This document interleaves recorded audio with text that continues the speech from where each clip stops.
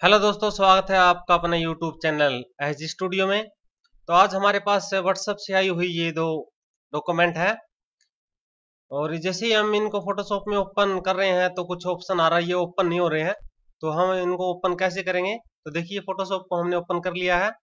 इसके बाद जैसे ही हम इस फ़ोटो को फोटोशॉप में ओपन करते हैं तो देखिए ये ऑप्शन आ रहा है could not complete your request because इस तरह का कुछ ऑप्शन आ रहा है।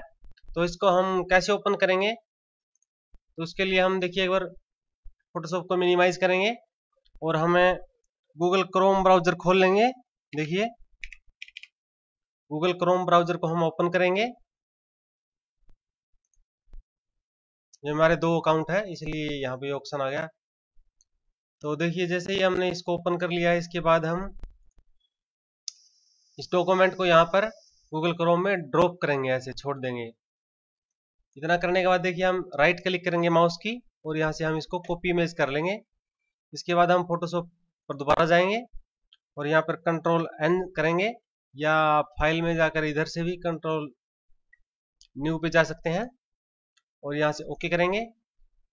इसके बाद देखिए हम कंट्रोल भी कर देंगे, यहाँ पर पेस्ट कर देंगे इस तरह से। तो देखिए ये हमारा डॉक्यूमेंट ओपन हो गया है।